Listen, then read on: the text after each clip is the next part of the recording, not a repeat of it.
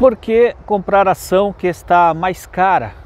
Por que comprar uma ação que sempre está subindo? Qual é a lógica disso? E será que isso faz sentido? Vou passar aqui minha visão, o que eu penso sobre as ações que ficam subindo e se a gente deve aportar ou não.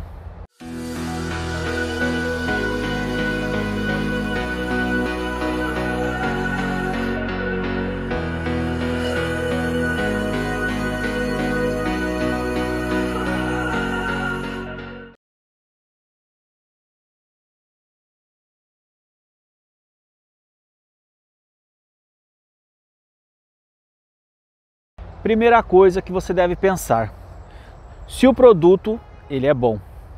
Vamos dar o um exemplo de Coca-Cola.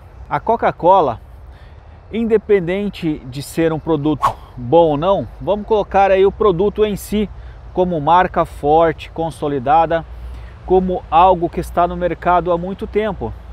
Se você parar para ver o preço de Coca-Cola há 10 anos atrás, podia custar 20 centavos uma latinha. Hoje a Coca-Cola, uma latinha você compra por 3, 4 reais, 5 reais, dependendo do lugar e a situação.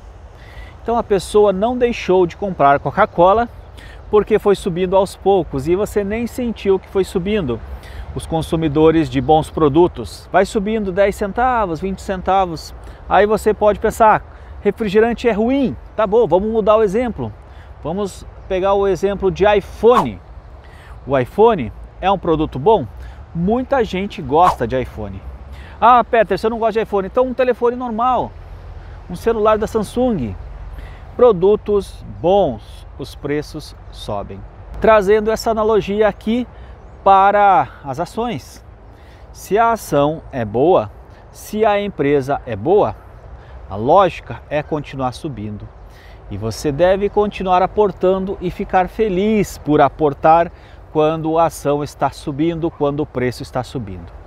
Por que, que você deve ficar feliz? A lógica é a seguinte: se a ação está subindo, a ação é boa e você está sempre comprando mais caro. Isso é bom porque você vai ganhar na valorização da ação. E se é uma ação que paga dividendos, fique mais feliz ainda. Por quê? Porque você vai receber dividendos, vai ganhar na valorização da ação e vai estar sempre com seu patrimônio mais alto, aumentando sempre o seu patrimônio.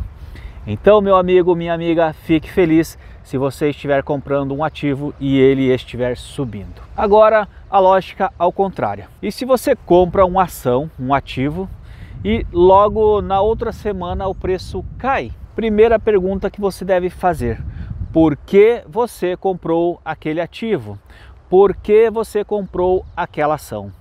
Se você comprou porque estudou os fundamentos, achou bom os fundamentos e aportou, fique feliz e aporte mais. Se você tiver mais dinheiro em caixa, aporte mais. Aproveite o momento que a ação está barata encha o carrinho daquele ativo. E se for um ativo ainda focado no recebimento de dividendos, fique feliz porque você conseguirá com menos dinheiro colocar mais ativos na sua carteira. E colocando mais ativos na sua carteira, aumentará a sua receita em dividendos. Olha que maravilha. Então funciona assim: boa ação, o preço sobe.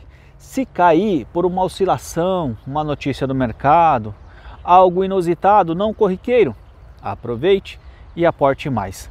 Esta é a lógica então de sempre querer comprar um ativo um pouco mais caro, entendeu? E olha só, o ativo que ele é bom vai subir ao longo dos anos.